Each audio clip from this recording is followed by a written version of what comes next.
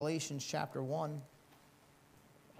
I'd like to pick up where we left off, and we left off around verse number 16. Galatians chapter 1, and let's just read uh, verse 16 here. It says, To reveal his Son in me, that I might preach him among the heathen. Immediately I conferred not with flesh and blood. Let's pray. Father, we love you tonight. We do thank you so much for uh, being so good to us. Thank you for such a good week.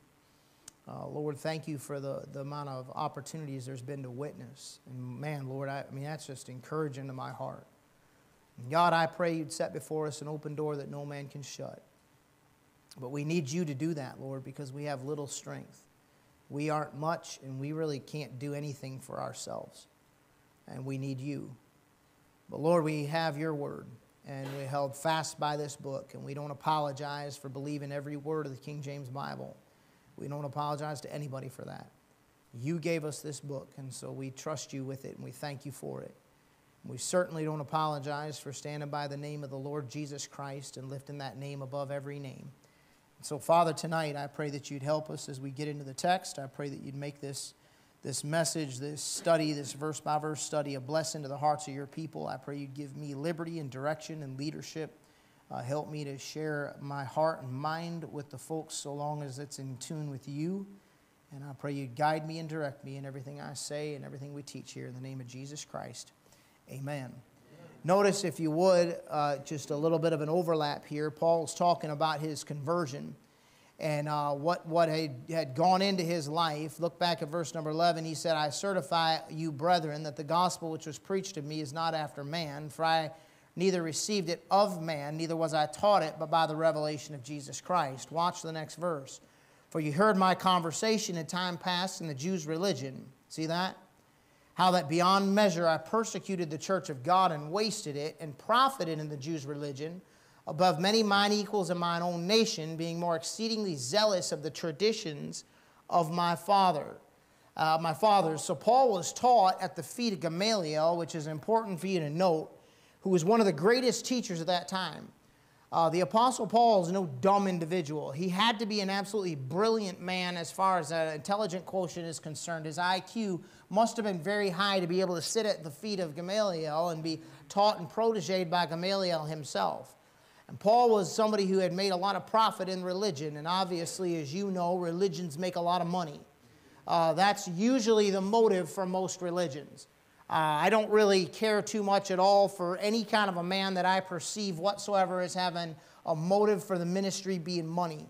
Uh, it just it irritates me to no end. It makes me so aggravated. It frustrates me. I literally, uh, forgive me for this, and, and, and I'm, and I'm praying right now because I don't want to overstep between me and the Lord, but I think I'm okay in saying I don't care to slow down long enough to spit on him. When a guy's motive for the ministry is money, I mean, he doesn't recognize that there's souls of, of, of men and women that are going to spend eternity in the lake of fire. There's people with problems. There's people with troubles and trials and struggles and difficulties. There's broken hearts and broken minds and broken homes and broken souls and broken bodies everywhere. And if your motive for the ministry is money, like my preacher said, you can't afford to preach. Uh, I think those guys, if they're even saved at all, are going to be in a real bad way at the judgment seat of Jesus Christ. I mean, I think about that sometimes, man. I don't ever want my motive to ever be about the money. Now, it's not wrong for a preacher to be well taken care of. I think this church takes very good care of me, especially considering the size of our church. And I'm grateful for that. I mean, I know some guys that won't let the church take care of them, and that's kind of a bad situation. Do you know why that's a bad situation? Here he is pouring his life out for you, right? He's always serving you all the time answering his phone and there for all the bad moments and all the rest of that stuff. And then he won't let you do anything back to take care of him. So what happens is he winds up being in a position where he's got an advantage over you because he's all give and there's no give back. And that doesn't create a very good relationship between a pastor and his people. You understand that? I mean, it's a blessing to me when I'm frustrated. It's a blessing to me when I'm discouraged. It's a blessing to me when there's kind of bumps in the road in the ministry. And no matter what church you're in or what church you pastor, who your pastor is or who your church people are, sooner or later there's bumps in the road in the ministry, okay? That's just how it is. There's no getting around it in a sinful world. Well, to me, it's very encouraging when there's bumps in the roads to walk in and say, I really like my house. And you know what those people do? They pay my paycheck. It's nice to me to put my suit on my back and say, I, I like my suit, and you know where it come from? It come from God's people taking care of me. That's a blessing. What I'm not, I'm not talking about it's wrong for a man to be supported in the ministry. I'm talking about a man whose motive is the money. I'm talking about all the shenanigans that go on in church. And boy, there's no end to the shenanigans that go on in church. And just let me say this real quick shame on you if you give your money to these television preachers if you're broke and you're trying to give your money to these manipulative preachers and you don't have the sense to figure out when you're being manipulated, then you ought to be broke. don't be funding some kind of a hypocritical liar whose motive is your money. Don't fund that stuff. There is a lot of profit in religion, and Paul said, I profited in the Jews' religion above many mine equals in my own nation. And the reason he profited, look at him, being more exceedingly zealous of the traditions of my fathers. Now, listen, not every tradition is a bad tradition. I think one time in the Bible, traditions are mentioned in a positive sense. Not every tradition is wrong. I'll give you one. We, we do an altar call. Can you show me a chapter and verse that says you have to give an opportunity at the end of the service for people to come forward and pray? You know, that's actually kind of a tradition that began, and I don't hold me to it. I think it was uh, the Second Great Awakening or something like that, where they actually started doing the altar calls with the sawdust trail and people were walking the, the aisle at the end of the service and getting saved. Nothing in the Bible says you have to do that. I sure like it. I sure have made some decisions at an old fashioned altar, which just is literally, it's just a sign of old fashioned church. You don't even have that going on nowadays in the contemporary churches. There is no, there's no drawing the net at the end of the message. There's no responsibility of the hearer to take what was preached to them and do something with it and make a decision at that moment between them and God. Listen, I'm not here to pressure you, but when the Bible is preached and the Bible is taught and, and, and the Holy Spirit of God is moving, then there should be some pressure between you and the Lord at some points in your church service, at some points in your church life. You should experience a little bit of pressure to make a decision for God right? Amen. So I like, I kind of like that tradition and I don't plan on stopping it. Not every tradition is wrong. But when you're exceedingly zealous for traditions that go against the Word of God, aren't supported in the Word of God, and all you've got is tradition, and you base your doctrine on tradition, you are way out in left field, i.e., Roman Catholicism. Well, it's the oral traditions passed down from the fathers. But the, but the oral traditions passed down from the fathers con- contradict and go against the Word of God. And if it's going against the Word of God, you got to throw the traditions out. And Paul was exceedingly zealous of those traditions. The other thing that I think is important to notice is in verse number 15. He said, But when it pleased God who separated me from my mother's womb and called me by his grace. That's a weird thing, ain't it, to say? You guys know what Paul was doing? When he was exceedingly zealous of the traditions of his fathers? He was persecuting the church. So, from birth, from the time that he was born, God had a plan for the Apostle Paul's life. And Paul had been pushing against that and fighting against it. Go to 1 Timothy chapter number 1, please. God had a plan for Paul, and to me, it's very encouraging to see this. 1 Timothy chapter 1. Because if God was going to pick and use anybody, Paul would be the least likely candidate. Really. I mean, according to what we see in the Bible, Paul is not a good speaker at all. The Bible tells us that his bodily presence was weak and his speech contemptible. I don't think Paul was in any way, shape, or form attractive. I, I, I, have a vision of him in my own mind, and I can't wait to get to heaven to see how much of this is like real and like, wow, the Lord really was showing me that, or wow, I was way off. You know what I mean? But I see him as being, and tradition will say that he is probably about four foot 11, under five foot tall. I see him as being kind of hunchback just from being so tore up and all the scar tissue on his back, from all the beatings he'd been through and all the problems that he'd have and all, all the times in prison and all the rest. I see him sort of being hunchback. I see him being real skinny. I mean, I personally would guess, I would guess 115 pounds tops. That's how I see him. I'm not saying I'm right. I also see him, since he had so much eye troubles, his eyes being kind of small and shriveled and sunk in already as though he was a very aged man when he wasn't that old yet. And for whatever reason, I don't know why I see this, but I see him with a big old hawk nose. No idea why. Maybe kind of like my Uncle Joe. I mean, that's how my Uncle Joe looked. Completely unattractive.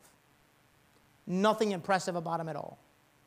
Like if you weren't in tune with the Spirit of God when He walked in the room, you would never notice Him other than, oh, wow, who's that little guy? That's weird. I think if you were in tune with the Spirit of God when He walked in the room, you'd say, who's that? Something about Him.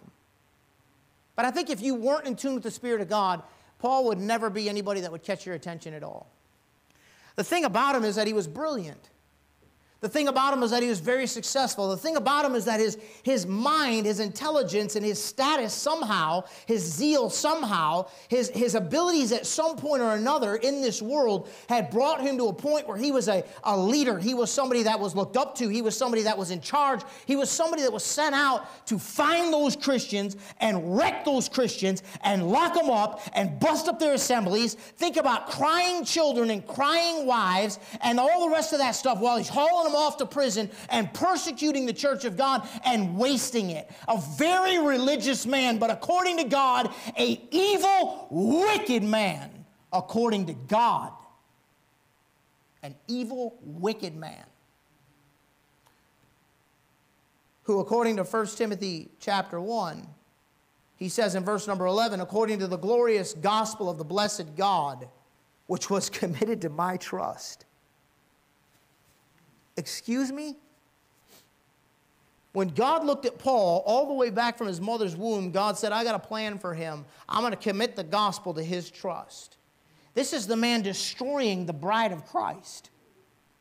Listen, I'm sorry, but from a, from a, from a groom's perspective, I would never have good plans for anybody who destroyed, wasted, beat, abused, and misused my wife. I would have no good plans for that person at all whatsoever. I don't think you'd find an ounce of mercy in me, to be honest. I'm talking about Mike Reagan. You understand that, right?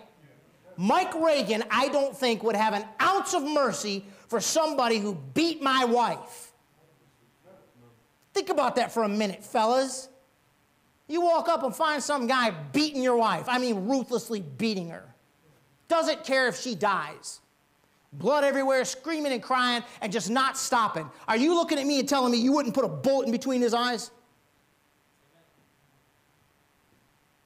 But this man was abusing the bride of Jesus Christ. And somehow or another, I'm telling you, God is so great, you can't fathom it. Somehow or another, while that man was abusing his bride, God said, I have plans for him. God was going to commit something to him. Look at verse 12. I thank Christ Jesus our Lord, who hath enabled me, for that he counted me faithful, putting me into the ministry. You know what I like about Paul? He had credentials that would blow your mind. Sat at the feet of Gamaliel, influential, all the rest of that stuff. All these credentials. And what he said is, I thank God that God made me able to do what I'm doing because without God enabling me, there's no way I could do what I'm doing. It's not even possible. See, Paul was very different than the modern day Christian. Paul was very different than most of the modern day preachers. You know, he didn't think his degrees hanging on his wall made him somehow capable of doing the work of God. Watch what he says. Who was before a blasphemer and a persecutor and injurious. In other words, he injured many. He was a hurtful, destructive, damaging, ruthless, relentless, wicked, selfish, self centered, godless, depraved man. I hope you're not like that. He said, But I obtained mercy because I did it ignorantly in unbelief. So Paul wasn't purposefully and, and, and in understanding what he was doing, go out, going out and doing it, Paul was deceived. Now, hang on a minute. Have you looked around lately?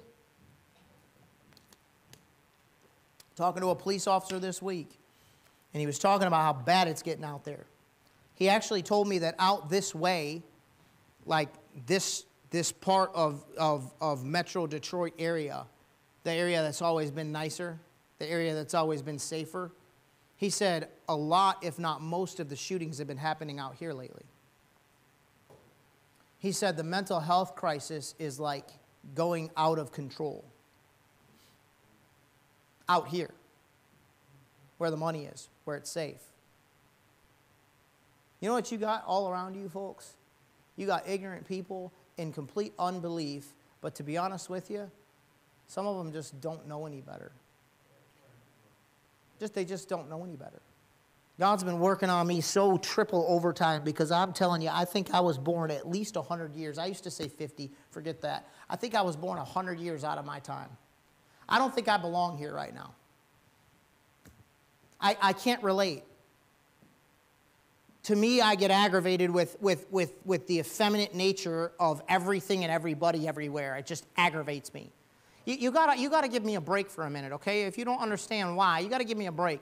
I grew up with a dad who said, I'm gonna, I'm gonna raise a Christian man, but I ain't raising no, uh, used a very insulting term. I ain't raising no sissy. If I was standing there like this, slouched over, or with my stomach out, slouched back, my dad would smack me in the stomach and say, Suck your stomach in, stick your chest out. Stand up like a man, square your shoulders back, pull them back. He'd walk up and just smack me in the gut. Like, oh, pull your stomach in, stick your chest out. So I walk like that, and everybody thinks I walk like that because I think I'm a tough guy. I was like programmed to walk like that. I can't stop. I hate seeing myself move. I don't like it. But that's what, how I was taught. Get your hands out of your pockets. Stand up like a man. Look me in the eye when you talk to me. Speak up, boy, I'm talking to you. Look me in the eye. That's how I was raised. And I, and I, I, I think it's kind of neat. I think guys should act like guys. I mean, I believe that. I think it's way okay for you to sit like a man and walk like a man and talk like a man and act like a man. Doesn't mean you have to be a jerk. You can be gentle and kind and gracious, okay? And it doesn't mean, you know, you're, comp- you're, you're compensating because look at him, he's trying to act like a man. No, it means you're acting like what God made you to be. I mean, to me, that just makes sense.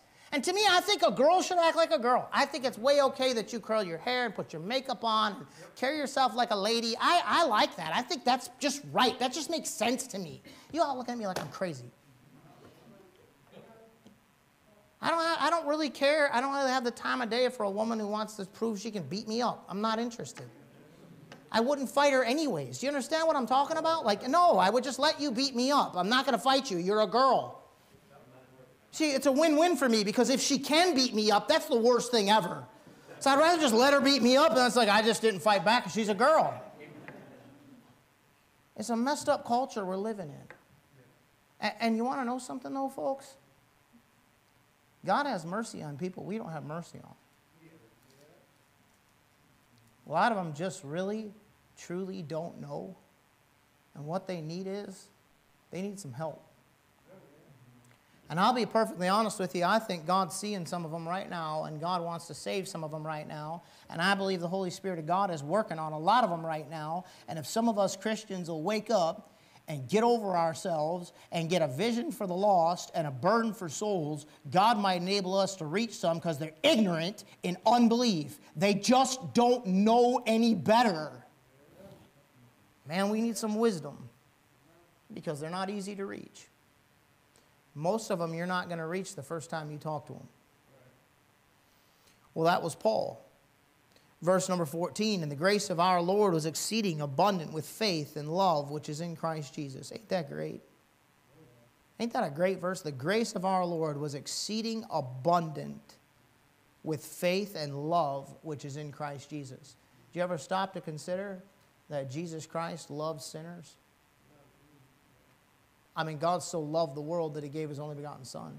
I realize the wrath of God abideth on them. I get all that. I get that they find the love of God at the cross of Calvary, but he died for them when they didn't care about him. That song we just sang, the second one, was that Blessed Redeemer? Man, what a song. Seems now I see him on Calvary's tree, wounded and bleeding for sinners pleading, Father, forgive them. They know not what they do. Man, I want to be like that. I just want to be more like him. Watch this. This is a faithful saying and worthy of all acceptation.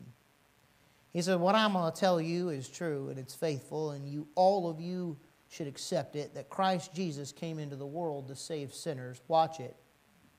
Of whom I am chief. You ever meet some maybe well intentioned, I don't know, but super spiritual, oftentimes Christians say, Oh, I'm the chief of sinners. You just corrected the Bible.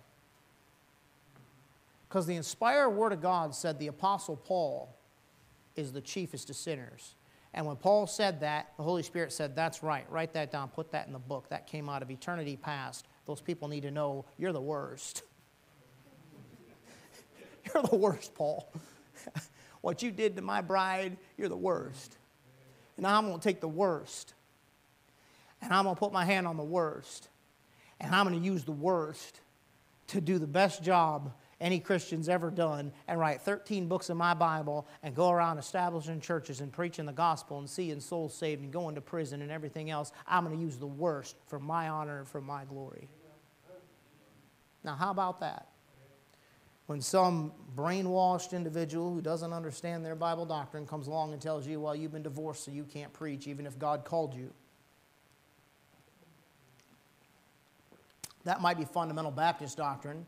That's definitely Roman Catholic doctrine. But it ain't Bible doctrine. Not when you study the subject from the Bible. God will use who He wants to use. And that's one thing about the Lord that I love and don't like. You know why I love it?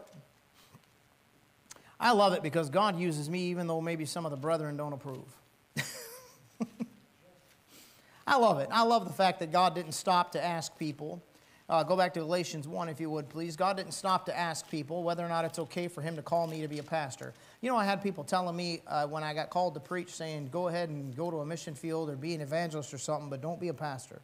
People literally said that don't be a pastor. You're not cut out for it. Hey, you know what? They were right.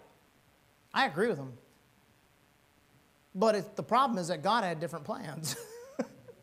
You know what I am? No, no doubt about it. You know what I am? I mean, I hope you know what I am. I hope you could say amen to it. I'm a pastor. I actually love it. I told my wife today, I said, I can't believe I ever thought that I would be happier being in evangelism. I was crazy. I did not know what I was even talking about. God was always right, He's always been right. I'm glad and I love it about God that He doesn't stop to ask people's opinions before He calls somebody to do something or uses somebody. But you know why I don't like it about God? I don't like that part about God. You know why I don't like it personally? In the flesh, I'm speaking as a human. You know why I don't like that? Because He uses other people that I don't think He should use. God didn't stop to check with you. God doesn't care what you think about brother so and so or sister so and so. God does what God wants to do with who God wants to do it with, and that's that. Your personal emotions and your personal feelings and what they did to you or didn't do to you or all that stuff, that has nothing to do with anything. that has nothing to do in the economy with the economy of God or the plan of God. It's none of your business and it's none of my business. God will do what he wants with his people, and that's simply that. And I love that about the Lord. Back to Galatians chapter 1, he says in verse number 16 So God separated him from his mother's womb and called him by his grace to do what? To reveal his son in me, that I might preach him among the heathen. Now that's a deep verse. You know what God saved you for? You have a purpose after you've been saved. Do you realize that? I don't care if you're a preacher or not. The Bible says in Revelation chapter 4, verse 11, that for thy pleasure we are and were created. You were created for the pleasure of God. I don't care if you like your height. I don't care if you like your weight. I don't care if you like your gender. I don't care if you like your eyes or your nose or your looks or your family or your background or your social, socioeconomic status. I don't care if you like your race. I don't care if you like anything. I don't care None of that matters. I don't care if you like whether you're bald or not bald or what. I don't care. God created you for His pleasure. So it's God's business what He does with you. God created you just like you are, and you ought to give what you are to God. I don't care if you're melancholy or if you're outgoing or whatever you, I don't care. I don't like my personality. So what? What does that have to do with anything? God created you for His pleasure. So if God wants you to be like you are, then that is God's business. Quit envying somebody else who has something you don't have, and thank God you got whatever you got. You don't deserve what you have anyhow. It doesn't matter what you and I think of ourselves or of our status. None of that matters. You're created for His pleasure, and His goal is to reveal Jesus Christ in and through you. And there ain't a person in the room that can't do that. Not one of you can't do that. You see why the preachers, the good preachers, the old preachers, the smart preachers, the preachers that know the Bible and know the God that wrote it and have been around for a little while. You know why they tell you that the most important thing in the world is your personal relationship with Jesus Christ and nothing matters more than your personal walk with Christ? Because that really is all that actually matters. I'll be preaching to you a little bit about it on Sunday morning. It's the things of eternity that matter.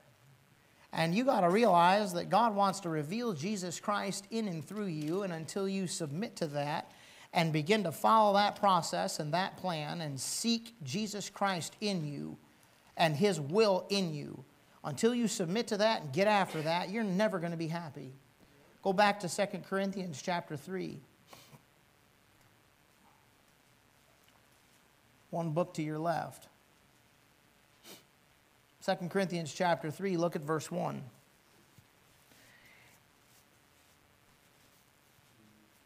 He says, Do we begin again to commend ourselves? Or need we, as some others, epistles of commendation to you, or letters of commendation from you? Ye are, ye are our epistle, written in our hearts, known and read of all men. You see that? You mean people are reading you? People are reading you. I, I, think I mentioned it to you Sunday about an older guy this week who had some, has some money and whatnot. And I, I, he said he uh, leasing some property to some preacher, and that preacher, he, he, he'd bill him for the right amount, and the preacher'd write him a receipt for X. And he billed him for Y, and he'd write him a receipt for X to try to help him with his taxes. And he's like, I don't like that stuff. It seemed like he declined the offer, to be honest with you, because he said, I don't like that stuff. I said, Well, I just want you to know that just because some other preacher did that doesn't mean this preacher does. I said, I could care less about a little bit of stinking money. I'm more concerned about my testimony in this community than I am cotton picking money, man. It's ridiculous. It makes me so angry. And he said, Yeah, I know. When I said, I'm not that way, he said, Yeah, I know. I've known you a long time. That scared me. You know why? He's been reading me. He doesn't look like he's watching me, but he's watching me. And I'm telling you right now, when you walk in and say, I'm a Bible believing Christian, what'd you do over the weekend? I went to church. You know what people are doing? People are watching you. You know, you're all the Bible some people are ever going to read. That's why the Bible tells, tells saved women when they got a lost husband that she can win them, that they can be won without the word, because they won't listen to the Bible. He said they can be won without the word by your godly conversation. The way you live and the way you conduct yourself, the way you behave and the way you walk with God and the way you treat your husband and the spirit you have and the heart you have and the attitude you have, that can, that can work on him and work on him and work on him in a way you don't even know it's working because he's too proud, arrogant, stubborn, self righteous egotistical, foolish, and blockheaded to show you because he's lost and needs to get saved. Or he's saved and backslidden. And you have no idea how you're wearing away at him when you walk around singing, Holy Bible, book divine, precious treasure, thou art mine. Mine to tell me whence I came, mine to teach me what I am. And he was listening to in the car on the all the way home. And he walks in and there's a different spirit. and it's, it's aggravating him. Because you, because eh, what is that? It's Christ in you. There's something inside of you. You realize how powerful. Do you understand how powerful, how powerful, how powerful Christ in you is? You think about that for a minute. And then you don't bother to walk with him. You don't bother to talk to him. You don't bother to read his love letter to you. Holy Bible, book divine, precious treasure, thou art mine. You know, that's a precious treasure. i Never seen somebody sing a song about Bible because you ain't seen anybody that knows God that close. I'll show you Sunday. You can't separate him from his word. You can't. That's all I have in this world that I can hold on to that shows me the mind of Christ, the heart of Christ, what to believe, how to behave, how to follow him. Right? This thing is precious. So you're a living epistle. Verse 3 For as much as ye are manifestly declared to be the epistle of Christ, ministered by us, written not with ink, but with the Spirit of the living God, not in tables of stone, but in fleshly tables of the heart. That's Christ in you. See, it's more, it's about more than just being a Bible believer. And I am. I don't apologize for it. I'm a Bible believer from the top of my head to the bottom of my feet. And when I tell you I believe the Bible, I mean I believe every single word of the King James Bible is inerrant, infallible, inspired, preserved, on and on and on. You believe in dual inspiration? Just, just leave me alone. just, just leave me alone. I don't, I don't even just, I'm not saying that to you if you don't understand that issue. I'm saying it to people that don't believe the Bible's inspired and push back on it. Do you understand that when I say just leave me alone? You ask me if you got questions, please. Don't, don't, don't misunderstand what I'm saying in context. When people doubt it and think you're stupid for believing it and make those kind of accusations, my response is leave me alone. Why? Because I just, there, there's no doubt about this book is absolutely the perfect Word of God. And if you're educated and you study the facts and you pray and you got a heart to know the truth and you got a brain in all this education, God's going to show you how perfect that book is. So when somebody's got an education, done all kinds of research, and claims that they've been praying and looking for the truth and don't believe the Bible still, something their eyes are blinded. That book is perfect. But you see, it's not enough for me just to say I believe the Bible. If I really believe the Bible like that, then shouldn't I be living it? Shouldn't it come out every pore of my body? Shouldn't it change who I am? Shouldn't Christ be revealed in me? Shouldn't people be, people be able to see with time that Mike Reagan ain't the same guy Mike Reagan used to be? I hope and pray that you, you would say, Pastor, you've changed. I've had people leaving the church, you know, kind of backslidden and frustrated with me and say, Well, you've changed. And depending on the context, who's saying it and why they're saying it and the spirit in which they're saying it, my response has been once or twice, well, praise the Lord. I'm glad to hear that. I should be changing to be more like Christ. See, people all the time use this excuse, well, that's just my personality. Well, you just don't understand the way I was raised. Well, that's just how I am. Yeah, that's the problem. that is how you are. And how you are is a problem. And you're hurting people and you're driving away people you love and you're not letting Christ be revealed in you, God wants to reveal his son in you. Go to Colossians chapter 1. Look at verse 27. Colossians 1:27.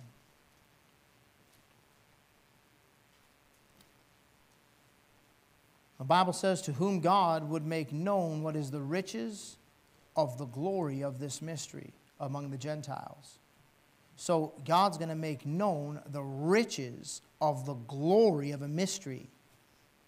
What is the glory of this mystery? It's Christ in you, the hope of glory. Guys see how powerful that wording is? We take it for granted. We take it for granted. See, I have a distinct privilege of being supported full time to be able to read my Bible and pray and study and all the rest of that stuff, and it's a real privilege. And you could sit there and get out a hymn book and be studying and praying and open a hymn book and sing some songs and just try to get, you can kind of get lost in it, you know. And then you get done and you walk out of the office and you get in the car and walk in the store and you're just like back into the real world where everybody lives. You know how drastic the difference is? you know what happens to you poor folks going to work every day of your life and getting around all these lost people? Without realizing it, you start walking in the flesh again and you forget all about what's in you. So you'll be at Men's Wearhouse, and instead of seeing a guy there to talk to who's actually looking for some help in the truth, you just kind of like are in a hurry to get through your deal and get what you need and get out the door and get on with your day. You got a treasure inside of you. And it's the Lord Jesus Christ if you're born again. And you ought to be tuned into that. That's important. All right, back to Galatians chapter 1. So he said, God wants to reveal his son in me, right? And so he says in verse 16, immediately I conferred not with flesh and blood. Um, now, let me just say this, and um, I'll touch on it and we'll get done here. We'll keep moving. A lot of times people ask for advice when God's already told them what to do because they're looking for somebody to tell them what they want to hear. Am I making sense to you? I know, I know I could give you I could give you names and dates, and I'm not even talking about one individual. I know of, I know of individuals who literally called through a whole list of Bible believing preachers, King James guys, a whole list of Bible believing preachers, and all the preachers told the individual the same thing about the situation and circumstance, and every one of them was a loser and a jerk and an idiot who doesn't know what he's talking about. And then they finally find guy number five or six who agrees with them, and he's the greatest. Now, five Bible believing preachers have been doing it for 30 or 40 years all told me the same thing, and I still didn't like what I was hearing. You see, when God actually speaks to you and you know God spoke to you, what are you asking anybody for? People come into my office, well, this is what the Lord, you know, I just, I just know what the Lord told me to do. Then why are you talking to me? What do you want me to say? I had somebody come into my office over a decade ago. Well, the Lord spoke to our hearts, and we just we want to know what you think. Okay? The Lord told us in your message that we're to leave your church. Okay? That's all? Okay? What do you want me to do? Correct God? You said God told you. If God told you, okay. That's better for you, it's better for us, and you've been a pain anyways, and you're not getting it right. So fine, goodbye. What do you want me to do? We left the church, and the preacher never called us. Does anybody see a problem with this? Is it just me? Am I being defensive of myself? Or does anybody see it? You left. But then you're mad because the preacher didn't chase you. Hey, when God tells you to do something, do it. He said, immediately I confer not with flesh and blood. I know exactly what God said to me, and when God told me, I have to do what God said. All right, verse 17. Neither went I up to Jerusalem to them which were apostles before me, but I went into Arabia and turned again unto Damascus. Then after three years I went up to Jerusalem to see Peter and abode with him 15 days. But, the other, but other of the apostles saw I none save James the Lord's brother. Now here's what I find very interesting about that. The Roman Catholic Church teaches the perpetual virginity of Mary.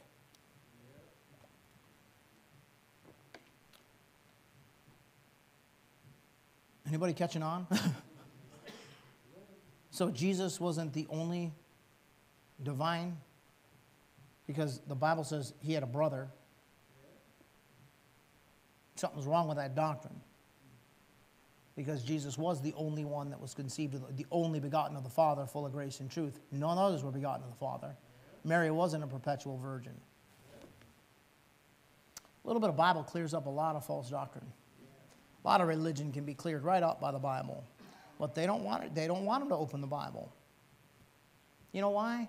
They might find out that in the Bible, they don't have to give 10% in the New Testament. Oh, horror of horrors.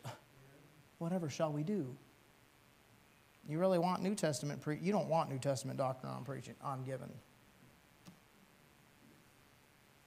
All right, look at the next verse. Now the things which I write unto you, unto you, behold, before God I lie not. Afterwards I came into the regions of Syria and Cilicia, and was unknown by face unto the churches of Judea which were in Christ. Watch this. But they had heard only that he which persecuted us in times past now preacheth the faith which once he destroyed. He said, People couldn't even recognize me. They didn't even know me. I was unknown by face, but all of them had heard about me. You realize that when Paul first got saved, the churches didn't want anything to do with him. They were scared of him. They were rejecting him. They were criticizing him. He didn't go up to the apostles before him right away. But what he did do, which we'll see when we go through the book of Acts, is eventually, if you go look at Acts chapter 15, you find out that they all got together in conference and sat down and discussed all this stuff, and they compared Paul's gospel and what Paul was preaching and what the Lord had showed Paul with the Old Testament scriptures, with what they knew of the Lord, and they're walking with him throughout his ministry, with everything the Holy Spirit of God had been doing, and they sat down in conference and they discussed this stuff and hammered out the doctrine. So, what's different about biblical Christianity is biblical Christianity bears with it all the way through. And when I say all the way through, I'm talking about, oh, excuse the, excuse the cheap phrase to make preachers sound super smart so that you feel like you got to bow to them and trust them and not God, but apologetics. It's a cheap phrase. You understand that, right? To make preachers sound super smart so people feel like, well, I just need the preacher to tell me everything because I can't read my Bible and find out for myself. But I mean, going all the way back to apologetics for Christianity and running all the way up through, all the way into prophecy, reaching out into the Old Testament. The different thing about biblical Christianity that you won't find in any other religion is there's constant checks and balances. Come now, let us reason together, saith the Lord. God's reasonable.